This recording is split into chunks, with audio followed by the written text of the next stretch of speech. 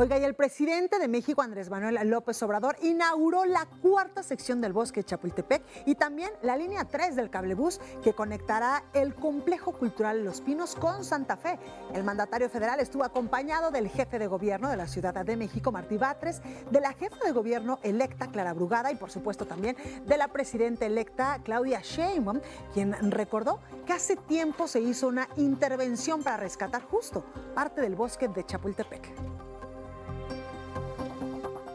decidimos conjuntamente hacer una intervención en el bosque de Chapultepec.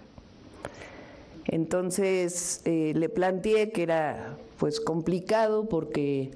había que hacer un saneamiento de la primera sección, había que quitar muchos árboles para poder sanear el bosque.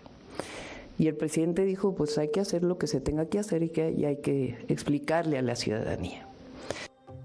Durante el evento, el jefe de gobierno de la Ciudad de México, Martí Batres, estimó que la obra pública aumentará con la llegada de la presidenta electa, Claudia Sheinbaum. Recordó que durante el mandato del presidente López Obrador renació el trabajo al servicio del pueblo, lo que se demostró con la entrega de proyectos como, por ejemplo, el aeropuerto, los trenes, refinerías y otras más, como la nueva sección del bosque de Chapultepec.